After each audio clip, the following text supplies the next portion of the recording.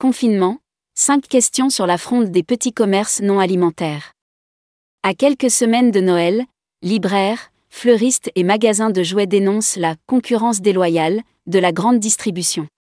Des élus se sont joints à leur protestation. Caricature, la liberté d'expression n'est pas sans limite, estime Justin Trudeau. Si le Premier ministre canadien dénonce les attentats récemment perpétrés en France, il estime néanmoins que la liberté d'expression ne devait pas blesser de façon arbitraire et inutile certaines communautés. Covid-19, premier jour d'une France reconfinée, les rayons livres des grandes surfaces ferment ce soir.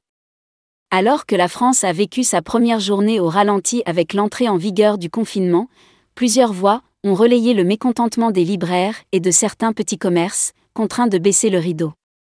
Reconfinement, ces maires qui bravent l'interdiction de fermeture des commerces.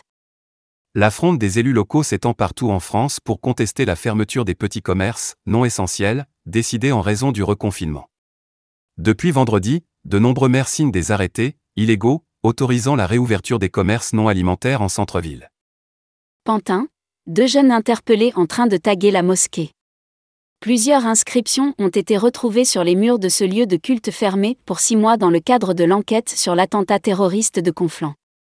Les grandes surfaces où il y a plus de monde seraient moins dangereuses qu'un petit magasin, les élus locaux à la rescousse des commerces. Les maires veulent soutenir les magasins de proximité, obligés de fermer en raison de la pandémie, contre les grandes surfaces, accusées de concurrence déloyale. Vidéo.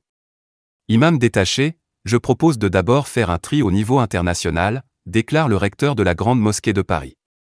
La fin de la formation des imams à l'étranger fait partie des propositions du chef de l'État pour lutter contre le séparatisme. Mais pour Chemedine Hafiz, on ne peut pas mettre tous les imams détachés dans le même sac. Confinement, des fermetures de commerce, non essentielles, contestées, les maires montent au créneau. Économie, les maires de plusieurs communes prennent des arrêtés pour tenter d'obtenir la réouverture de leurs commerces fermés à cause du confinement.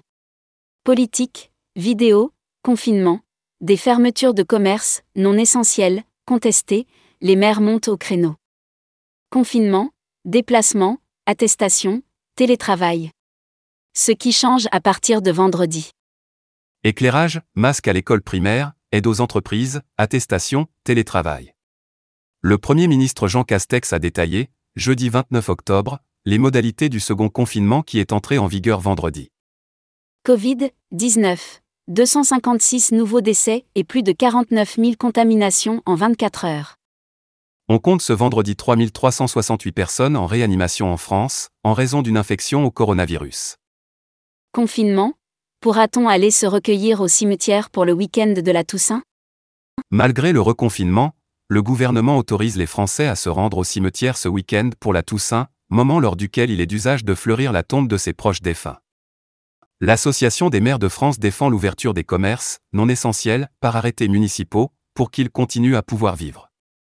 De nombreux maires, partout en France, signent des arrêtés municipaux autorisant l'ouverture des commerces considérés comme n'étant pas de première nécessité, comme les librairies.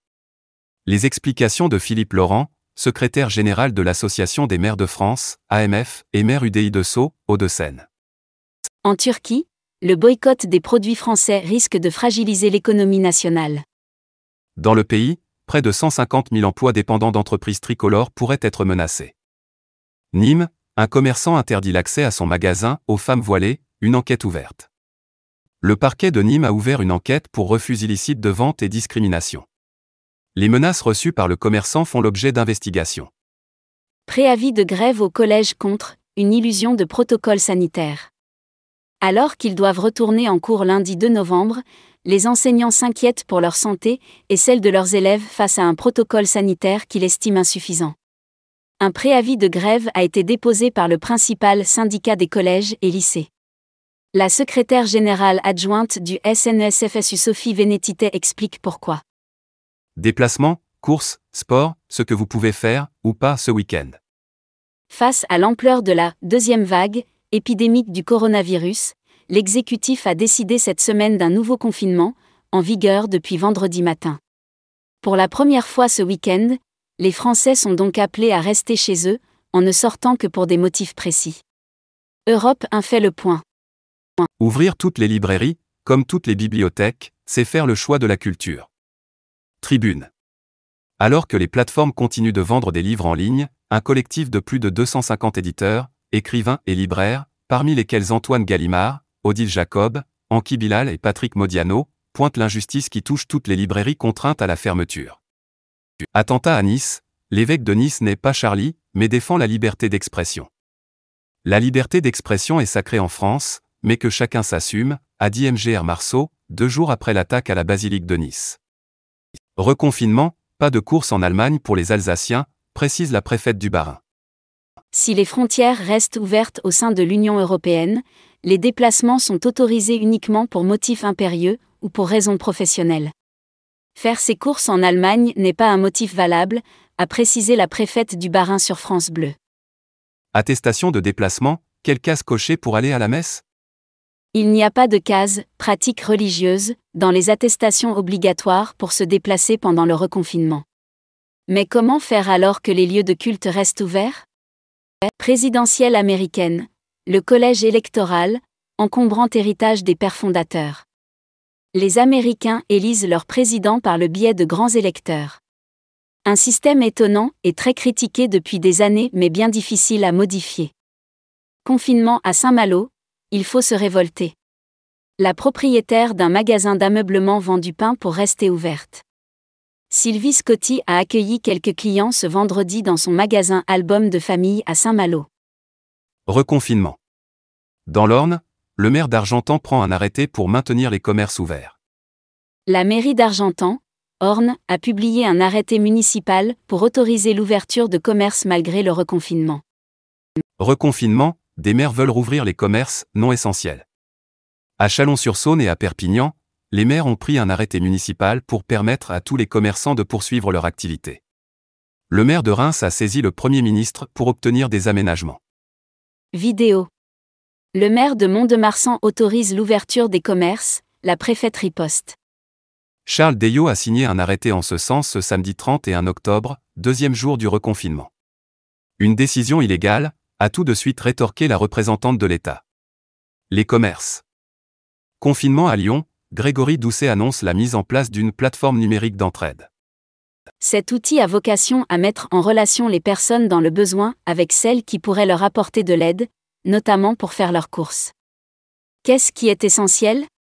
Qui décide de ça, un reconfinement, avec les mêmes angoisses démultipliées De Toulouse à Lyon, en passant par Lille ou encore Paris, pas de ville fantôme, mais une ambiance de long dimanche morose, où la peur de l'épidémie a fait place à la lassitude. Y a-t-il eu un exil des citadins vers la campagne après l'annonce du reconfinement?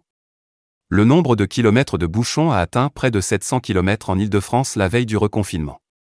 Les citadins, se sont-ils exilés à la campagne comme lors du premier confinement en mars dernier? Population, vidéo, Y a-t-il eu un exil des citadins vers la campagne après l'annonce du reconfinement? Caricature de Mahomet, Jacques Chirac avait bien déclaré que la liberté d'expression doit s'exercer dans un esprit de responsabilité. Une citation de l'ancien président de la République ressurgit sur les réseaux sociaux, alors qu'Emmanuel Macron a affirmé sa volonté de ne pas renoncer aux caricatures. Qui sont les loups gris, ces nationalistes turcs qui s'affichent en France? Des membres de cette mouvance radicale ont récemment organisé des contre-manifestations pro-turques en réponse aux rassemblements arméniens. Des scènes aux allures d'expédition punitive. Grippe aviaire, vigilance accrue dans les Côtes d'Armor. Trois zones littorales des Côtes d'Armor sont particulièrement concernées par l'appel à vigilance de la préfecture des Côtes d'Armor concernant la menace de la grippe aviaire. Lyon, l'homme au couteau déféré au parquet.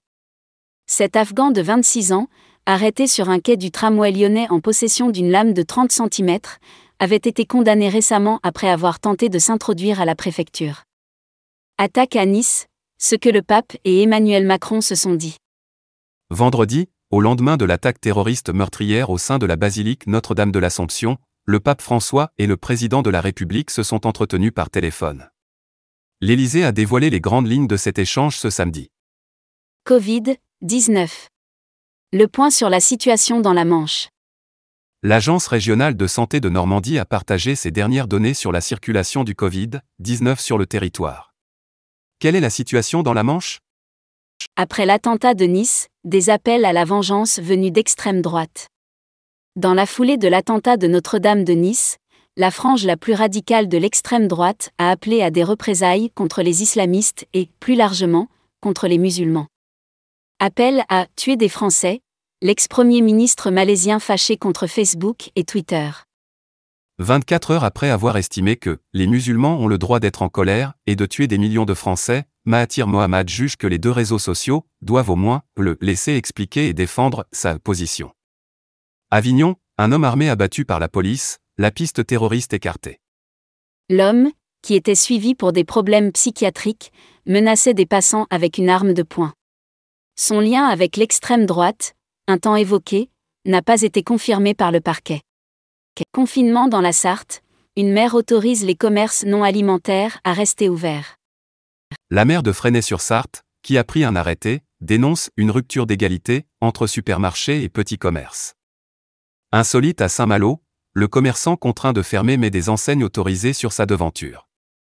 À Saint-Malo, un commerçant de souvenirs d'intramuros a manifesté son mécontentement en collant différents noms d'enseignes autorisées, elle, à ouvrir pendant le confinement. Cotentin, un appartement détruit par le feu cette nuit, trois victimes hospitalisées. Trois personnes ont dû être hospitalisées suite à l'incendie d'un appartement qui s'est produit ce samedi 31 octobre 2020 au petit matin à 40 ans les marais. Yveline. Mantes-la-Jolie, des invités et des armes à la maison en plein confinement. Lors d'une intervention pour tapage à Mantes-la-Jolie, Yveline, la police a mis la main sur des armes et verbalisé des personnes qui ne respectaient pas le confinement. Pourquoi le maire de Toulouse, Jean-Luc Moudan, ne prend pas d'arrêté pour rouvrir les commerces non essentiels? Contrairement à Montauban ou Perpignan, le maire de Toulouse, Jean-Luc Moudan, ne prendra pas d'arrêté municipal pour permettre aux commerces non essentiels de rouvrir. Grave accident sur l'autoroute A64, près de Toulouse, un mort, quatre blessés. Un grave accident s'est produit dans la soirée du vendredi 30 octobre, sur l'autoroute A64, près de Toulouse. Un homme de 45 ans est décédé. Plusieurs blessés sont à déplorer. Reconfinement, les maires montent au front pour soutenir les commerces de proximité. Même si leurs arrêtés d'ouverture sont illégaux, de nombreux édiles se rebellent pour demander la réouverture des commerces de proximité alors que les grandes surfaces sont autorisées à ouvrir. Fait divers, une femme tuée par balle en Corse, son conjoint suspecté.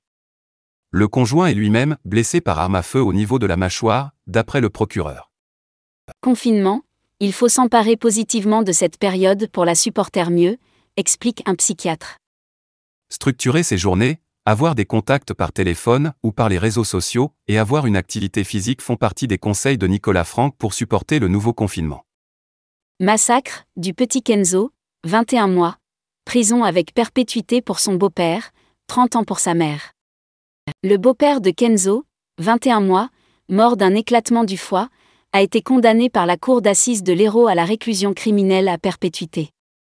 La mère de l'enfant a elle écopé de 30 ans de réclusion criminelle assortie de 18 ans de sûreté. La menace est partout, le Drian met en garde les Français de l'étranger face aux risques terroristes. Au lendemain de l'attaque à Nice, qui a fait trois morts, le chef de la diplomatie a adressé un message de mise en garde aux Français vivant à l'étranger, face aux risques terroristes.